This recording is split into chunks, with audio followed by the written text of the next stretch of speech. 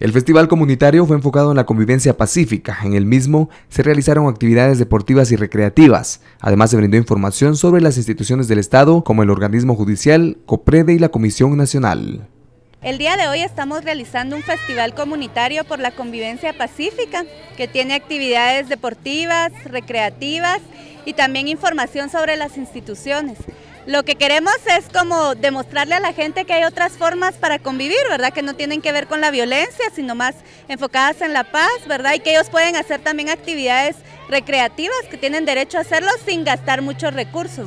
Entonces, esta es una coordinación de varias instituciones de Estado. Está el organismo judicial, está COPREDE, la Comisión Nacional, que es a la que yo represento, y también hay varias ONGs que están trabajando, ¿verdad? Vemos a los jóvenes de CEIPA en las actividades recreativas, a los compañeros de la Oficina de Derechos Humanos del Arzobispado, que también están trabajando con niños, y vamos a empezar un poco también ya con el intercambio de juguetes bélicos que está a cargo de la Policía Nacional Civil. Solo por el momento solo en, el municipio de Quetzaltenango, pero la comisión también está en Totonicapán haciendo actividades como esta, en Quiché y en Sololá, ¿verdad?